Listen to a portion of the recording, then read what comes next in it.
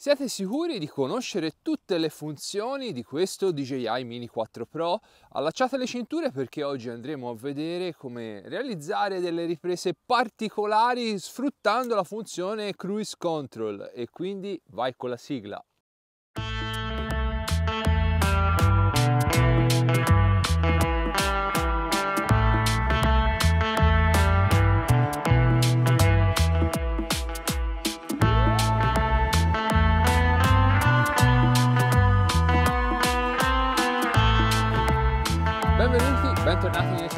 Io sono David e ho con me il Mini 4 Pro.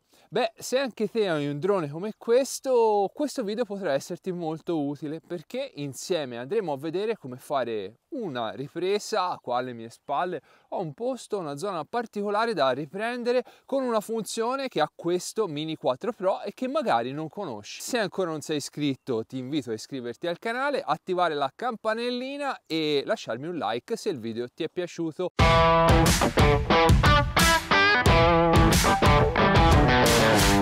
DJI sui nuovi droni come questo Mini 4 Pro, come Air 3, come Mavic 3 ha eh, introdotto una funzione che si chiama Cruise Control che ci consente di impostare una rotta a una velocità che decidiamo noi. È molto semplice, è la stessa eh, tipologia di cruise che possiamo avere con un'automobile. E a cosa serve questa funzione? Beh, lo scopriremo insieme perché andremo a fare una ripresa proprio sfruttando, sfruttando questa funzione particolare. Quindi montiamo su il eh, radiocomando il mio iPhone, utilizzeremo questo RCN2 e eh, vedremo insieme come fare a sfruttare al meglio questa funzione.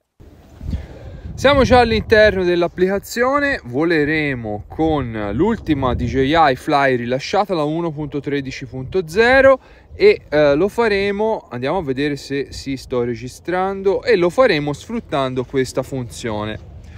Beh, eh, come ho detto è un qualcosa di nuovo sui droni della serie Mini perché sul Mini 3 questa funzione non è presente e eh, è un qualcosa di molto molto utile, molto interessante se dobbiamo andare a fare delle riprese un po' particolari.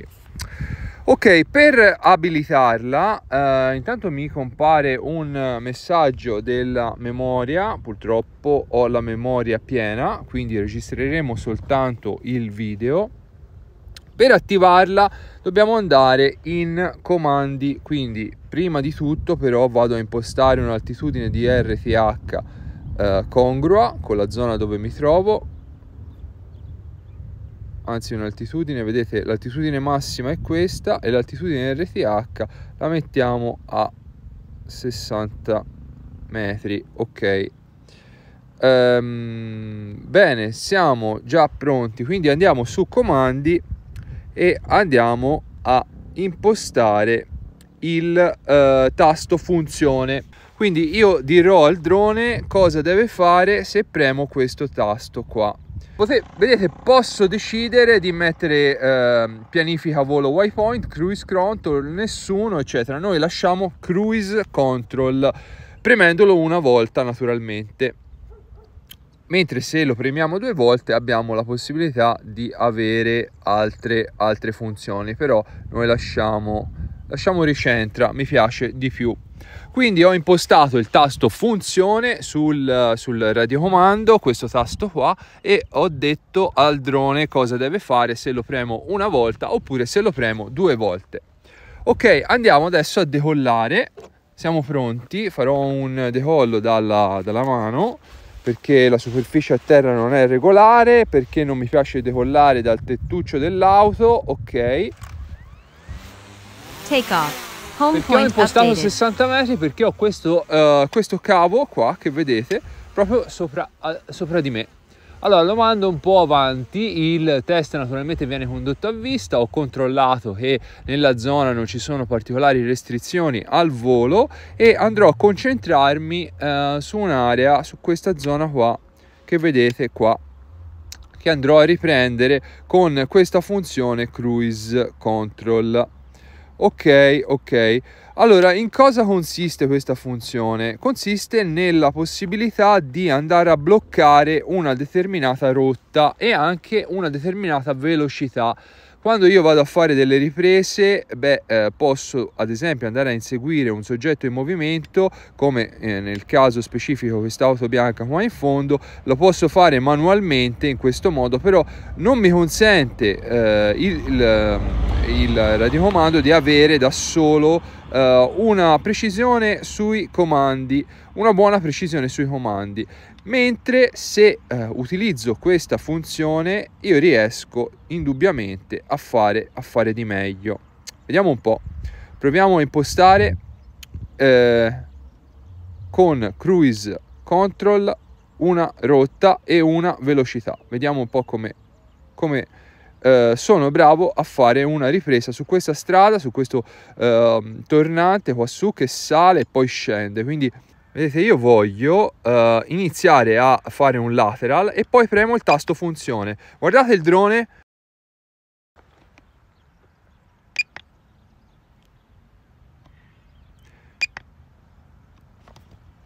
ho fatto una prova, funziona tutto correttamente e adesso, adesso voglio andare a fare sul serio. Quindi farò un lateral, però un lateral che ehm, diciamo sarà un lateral un po' più ehm, complesso. Il drone dovrà anche scendere un po' di quota perché il terreno qua va a scendere. Quindi proviamo adesso a fare, a fare una rotta mentre il drone è eh, in discesa anche. Vediamo se riesco, se sono bravo con gli stick.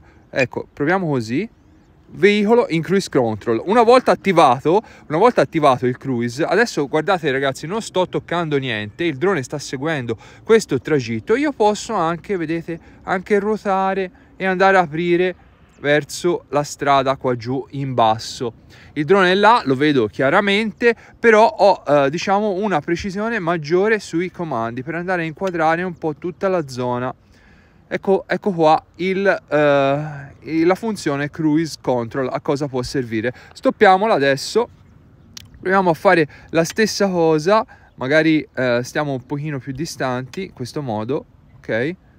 Uh, aspettiamo anche che passi un'auto così almeno riusciamo magari meglio anche a capire ehm, il eh, diciamo l'obiettivo, cioè il funzionamento, quando può essere utilizzata, quando può essere utile utilizzare questa funzione. Vedete, sta passando un veicolo, quindi vado sul lateral, salgo un po' con lo stick e premo il tasto funzione. Adesso sono in cruise, guardate come riesco io adesso a, a controllare bene i movimenti. I movimenti. Posso dire al drone di andare indietro e posso seguire perfettamente il percorso dell'auto in maniera molto molto più facile, cosa che non eh, sarei stato in grado di fare senza, senza questa funzione. Adesso l'ho persa, però riesco a recuperarla facilmente e il drone sta continuando la rotta anche senza il mio controllo sugli stick. Guardate è fantastico, è una funzione che per fare delle riprese di un certo livello beh, uh, ci può veramente venire incontro.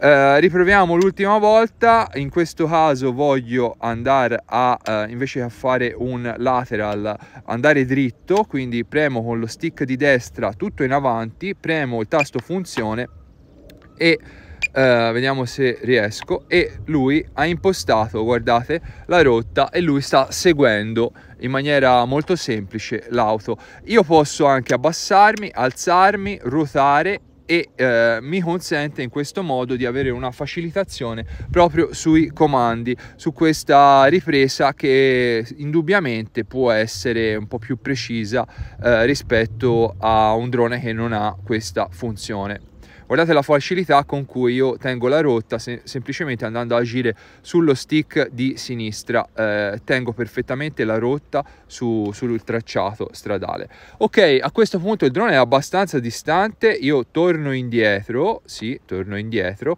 e eh, atterriamo per fare le ultime conclusioni, ma prima voglio parlarvi eh, di un'altra cosa, di una cosa che ehm, un'altra, eh, diciamo un altro ambito di applicazione di questo questa funzione. Ehm, andiamo su impostazioni eh, dei comandi, quindi regola guadagno di esposizione, vado ad agire sulla velocità massima orizzontale, metto la velocità minima, un metro al secondo. Guardate se io mando tutto lo stick a destra in questo modo, il drone va pianissimo. Ok, quindi una volta impostata la velocità al minimo, vado sulle impostazioni della fotocamera. Quindi vado qua, vado su scatto a tempo, ok?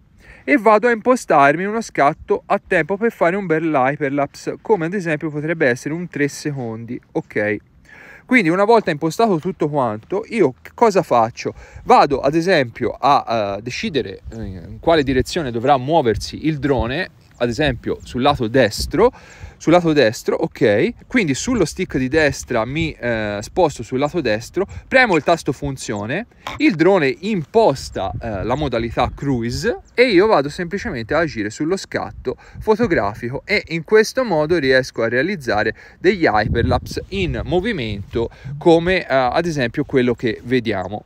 Beh, fantastico, veramente fantastico. Queste funzioni ci facilitano uh, durante, durante queste, queste azioni. Se abbiamo da fare un lavoro, vogliamo portare a casa de, delle cose, delle riprese veramente, veramente fluide, veramente belle, uh, questa funzione è molto molto utile. Ok, siamo arrivati.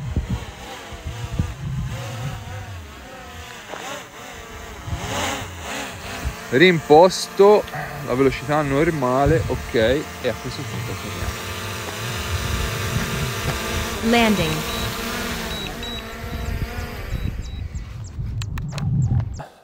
Alcune considerazioni, questa funzione cruise control può essere anche molto pericolosa perché eh, il drone seguendo una traiettoria senza i nostri comandi può essere pericolosa da usare. Sì, lui ha i sensori omnidirezionali, però comunque non è consigliato fidarsi completamente ciecamente di queste funzioni. Quindi se la utilizzerai beh io ti consiglio di avere sempre un'attenzione in più un'attenzione particolare durante appunto questa, mh, mm, questa missione che andrai a fare queste funzioni automatiche sono veramente veramente utili, vanno utilizzate con responsabilità e soprattutto in sicurezza. Dobbiamo controllare bene la zona dove ci troviamo, vedere gli ostacoli che ci sono e ehm, capire bene quello che stiamo facendo. Quindi volate sempre con la testa ragazzi, fatemi sapere se la conoscevate già, se la utilizzavate già con i vostri droni DJI questa funzione e se vi sembra anche interessante. Beh, vi aspetto qua sotto in un commento e ci vediamo sicuramente sicuramente con nuovi video qui nel canale di droni e tecnologia di vario tipo. Beh, dalla Toscana da una giornata fantastica è tutto e alla prossima. Ciao!